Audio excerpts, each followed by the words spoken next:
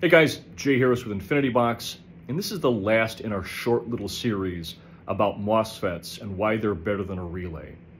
In this video, I want to talk about something called soft starting.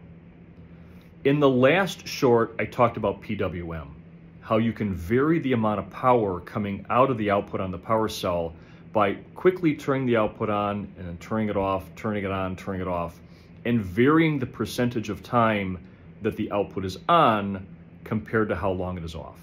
And that lets us do something called pulse width modulation, or PWM. And it lets you control fan speeds and fuel pump speeds and light brightnesses and things like that. That same PWM lets us do something called soft starting. There are a lot of loads in a vehicle electrical system that have an inrush. So for example, if you think about an incandescent light, like a traditional headlight, the resistance of the filament of that headlight relates to its temperature. So when a headlight is off, the resistance of that filament is low.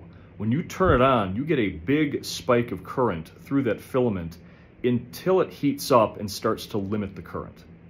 That inrush can be three, four, or maybe five times the steady state draw of that light. Motors do the same thing. The instant you turn a fan motor on or a fuel pump on, that motor looks like a dead short until it starts to spin. So you get a big inductive rush, and then as the motor starts to spin, that levels off, and that inductive rush can be two, four, ten times the steady state draw. So with soft starting, whether it's an incandescent load or something inductive like a motor, we can gradually ramp the current up over the first half a second.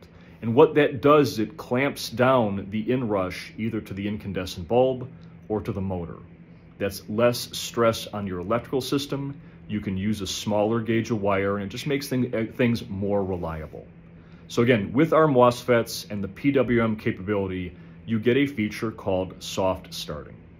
So if you have questions, let us know. If there are other topics you want us to cover, drop them in the comments below and stay tuned for more. Thanks.